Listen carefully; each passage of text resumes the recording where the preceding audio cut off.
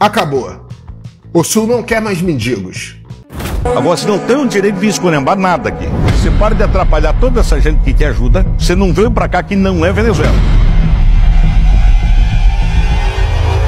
Começamos às quatro da manhã desta sexta-feira, mais uma operação asfixia. A maior mobilização que você tem conhecimento para essa operação da história de Chapecó. São mais de 70 homens. Eh, chegamos a casa aí de mais de 20 viaturas, entre Polícia Militar, Polícia Civil, Guarda Municipal, a participação da Polícia Rodoviária, SAER. Qual é o intuito?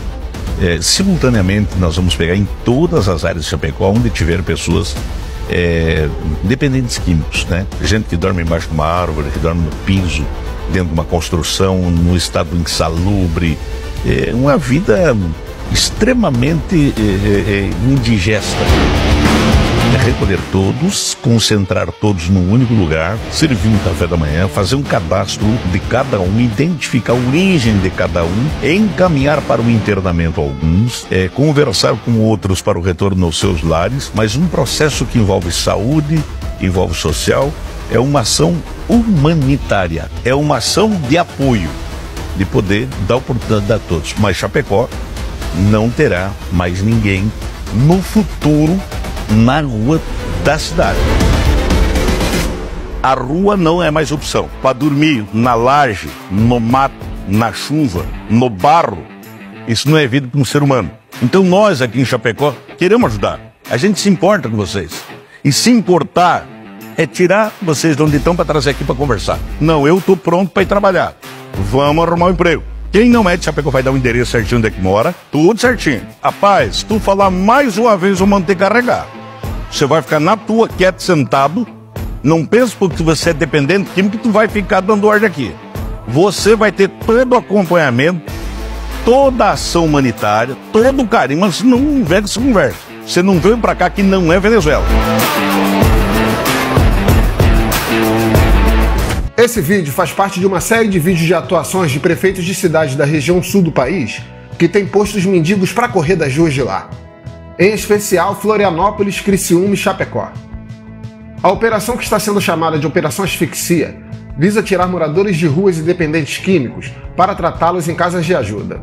E os que não quiserem não serão mais bem-vindos à cidade. Mas... Ô Bruno, chega aqui um pouquinho. Acho que é um velho conhecido de vocês esse, né? É, é o Marcos, tudo bem? Ele tomou um porre ali, costuma dormir na rua. Agora tu pega ele, leva ali para casa de passagem, a nossa casa de república, dá um banho e coloca ele capinar e cortar grama hoje. Estamos de acordo? Então vamos, vamos. Pega aqui. Vamos lá. Inclusive, imóveis abandonados que servem de redutos para essas pessoas estão sendo demolidas. Eu sei que nós estamos próximo do Natal. Mas isso não nos impede de tomar as medidas que são necessárias para oferecer mais segurança ao povo da nossa cidade. E uma delas não é fazendo essas audiências públicas com politicagens, misturando interesse político, eleitoral, partidário. É trabalhando como tem que ser trabalhado. Dê uma filmadinha aqui. Ó. Isso. Ô Fred, aonde tiver casas assim, abandonadas em Criciúma, que servem de abrigos para moradores de rua, toque a máquina. Toque a máquina. E que não venha ninguém reclamar disso não toque a máquina e acabe. Os moradores de rua que quiserem trabalhar, nós temos local para trabalhar. O doente, o doente a gente trata de tratá-lo. O dependente químico a gente trata de recuperá-lo. Aquele que quer trabalhar, a gente encaminha para o mercado de trabalho e o vadio vai embora dessa cidade. Pode tocar na máquina aqui. Já. Manda vir.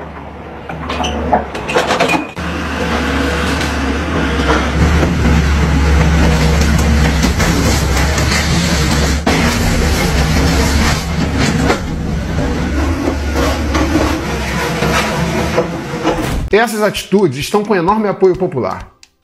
Nos comentários de muitos desses vídeos, pessoas do Brasil inteiro dizem que gostariam que essa operação também ocorresse em suas cidades. Um sucesso total.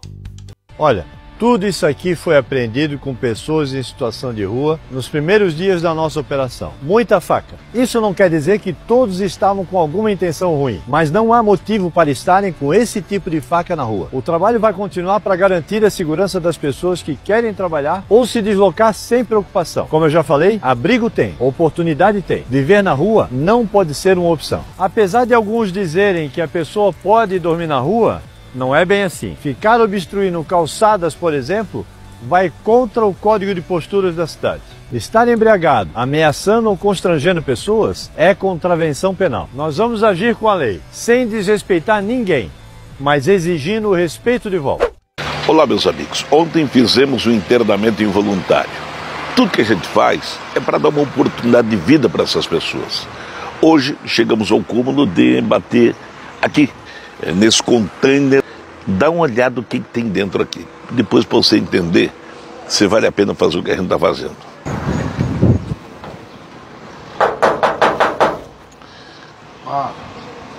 Levanta, amigo.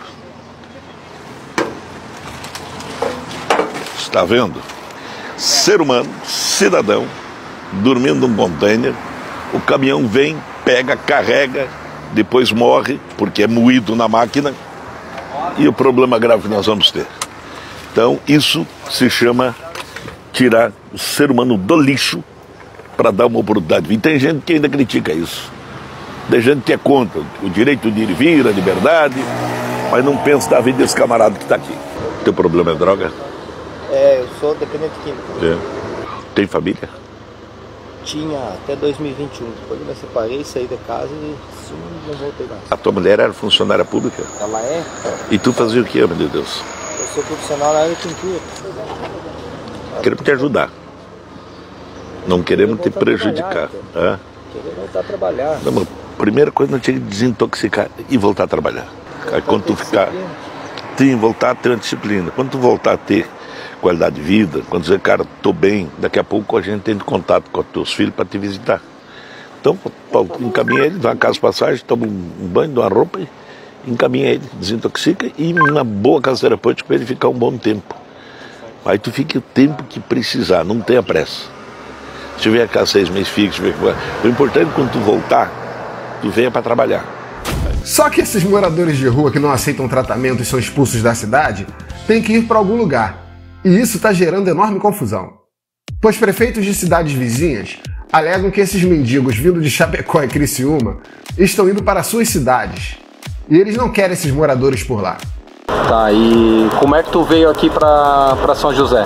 Pra São José foi uma Kombi que me trouxe, trouxe eu e mais, é, 14, e mais 14 pessoas dentro da, dentro da Kombi. E deixaram na BR, amigos, se continuar assim, esses mendigos expulsos do sul vão acabar indo para sua cidade.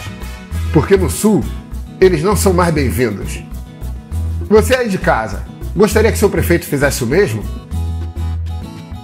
Se inscreva no canal Tribo Urbana e diga abaixo nos comentários se você é contra ou a favor da Operação Asfixia. Até a próxima!